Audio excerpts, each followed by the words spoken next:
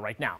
There are a few points that we're going to highlight right now in our tropics check, and the closest one is in the Western Caribbean. We were monitoring this uh, for several days last week and monitoring its west-northwestward trajectory. It's still moving in that direction, but it's been going through some dry air, so its overall ability to really ramp up has been slowed considerably. Nonetheless, still going to be a source of moisture for the Yucatan moving into the southwestern Gulf. This will stay off to our south. So that's not going to have any significant impact on our regional weather going into this week. This week.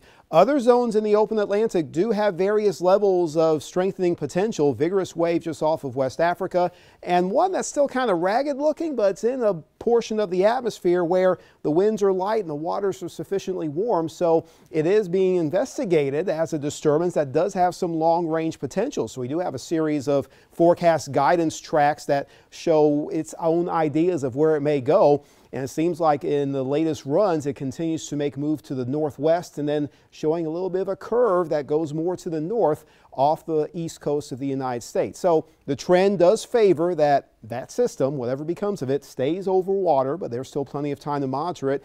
And you know, we still have not had that Danielle name yet. That's still the next name that will be given to the next developed tropical storm. It's been 57 days since we've had a named storm stretching all the way